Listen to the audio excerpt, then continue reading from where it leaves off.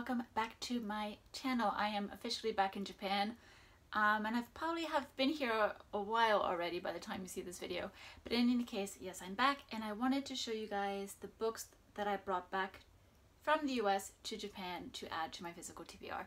I didn't actually buy too many books in the US. Uh, I really limited myself because after all the unhaul videos, I realized just the ridiculousness of, of, of the fact that, I mean, A, it's just not necessary to have that many books, but like also the fact that I sold maybe about $2,000 worth of books to half price books and got $100 back. Like that's just like, that's really, I, I mean, obviously reading books is not about, you know, getting money back, but it just, it was a little painful, to be honest. It was a little painful and so I, I, kind of wanted to really stick to the books I already have at home and just bring those here because I do have a lot of good books at home that were waiting for me um, because they were either left behind when I um, left the US and came to Japan or maybe um, uh, my mom kind of stuck a few books into my room while I was gone. But in any case, let's get into it. Um, the first book that I decided to bring back with me are volumes 1 and 2 of Mathias Sandorf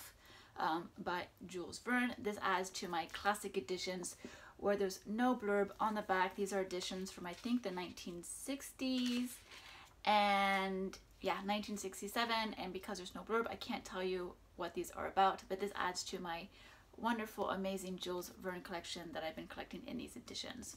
Where I love that they don't have blurbs because I can just pick them up and I, I know nothing about what they're about and I can just read them and join in on the adventure like Jules Verne wanted us to do. So it's very exciting. Um, one book, um, I actually, I got three books by the same author, uh, two that were already on my TBR, and that is, um, and the French versions though, so that's Les Dames de Kimoto, and Le Miroir des Courtisanes by Sawako Ariyoshi. Sawako Ariyoshi wrote one of my favorite Japanese books ever called The Twilight Years, which really shows like um, the suffering that not I mean yes suffering but just like the, the the hardships that women have to endure as you know providing as a daughter as a mother as a wife as a um, keeper of like husband's parents like just the roles that a woman has to undergo where it's just very much just underappreciated. Um, so I loved that book, The Twilight Years, and I've been wanting to read more of her ever since. And it just turns out that without realizing, I already had two books on my um, shelves by her um, that I had never read. So these are two that I added. And then um, I ordered um, uh, The Doctor's Wife. So uh, I also wanted, I had actually also ordered The Doctor's Wife and A River Ki, which are her two most famous books, actually. Um, but unfortunately, the bookseller sent, instead of, they sent me The Doctor's Wife and they sent me like a package of like basically trash. Uh, so I had to get a refund on The River Ki, and unfortunately, it's not in my hands. But I do have three books by the author now and so I can just enjoy those in the meantime and then I'll get the River Ki at a later date. But super excited to have three books by this author. Like she is amazing and I really really want to read um, more by that, oh, by her basically, by that author. Um, two more books that I already had at home waiting for me. Um, one of them is Long No Longer Human by Osamu Dazai. Um, I've had this for a long time and I thought I'd already read it, but apparently I haven't. Um, and because I've only actually read, it's shocking, I know, because he's one of like the great Japanese literature, uh, well, greats. He's one of the Japanese literature greats. Um, but I've actually only read uh, The Setting Sun. Um, and I actually had to get rid of that book because it was way too damaged, um, unfortunately. But um, yeah, so I've never actually read any of his other books, so I brought this back with me because it was already on my TBR back from back in the day. And then another book that I had purchased, um, but with the with the idea that I was coming back to the U.S. to grab it, but that was when Corona hit. Um, so it was been waiting for me for about three years, but that's uh, Welcome to Hard Times by E.L. Doctorow. Um, just a very classic Western.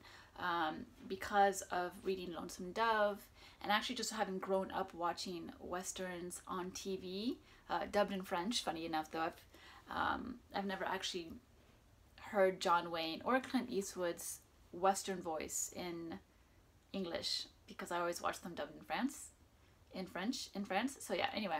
Um, but I just wanted to try out this very famous Western because um, it sounds right up my alley um, and just super excited about this one. And then um, the, well, actually, I'm gonna wait until the last one.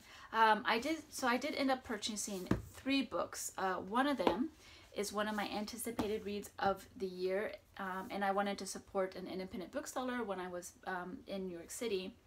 Um, so I bought Woman Running in the Mountains by Yuko Tsushima. Yuko Tsushima is a wonderful, wonderful author who's really good at depicting like the the plight of single women or more more than just single women, single mothers in Japan. And this is another book that follows that same theme. Um, and just, um, it's just, this is just gonna take me to places that I'm really excited to go because she is such an amazing, amazing author. So yeah, one of my most anticipated reads of this year, um, or most anticipated anticipated releases of the year. I don't know if I'll read it this year, but it's one of my anticipated releases of the year. So I'm very happy to have this. So yeah, Woman Running in the Mountains. So excited.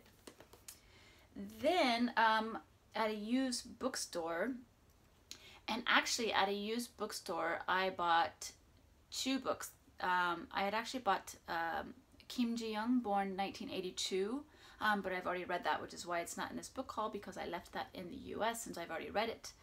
Um, but the other book that I bought at a used bookstore in Brooklyn, or Bushwick, I think I was in. I don't know. Um, but that's called The Radiance of the King by Camara Laye. Um, Camara Laye was born in French Guiana, lived and studied in Paris, and now lives in exile in Senegal.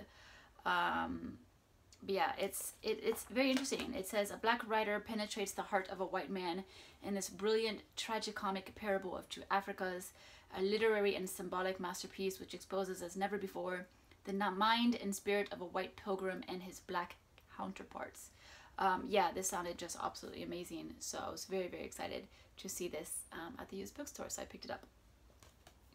Then, um, because it's been a long time since I've seen the Alamo back in my hometown of Texas, um, or home state of Texas, um, I decided to go for nostalgia's sake. And in the gift shop, they had this uh, nonfiction called Court, Cult, Cult of Glory the Bold and Brutal History of the Texas Rangers by Doug J. Swanson. Um, this is actually quite a new release. It's just out in paperback, I realized.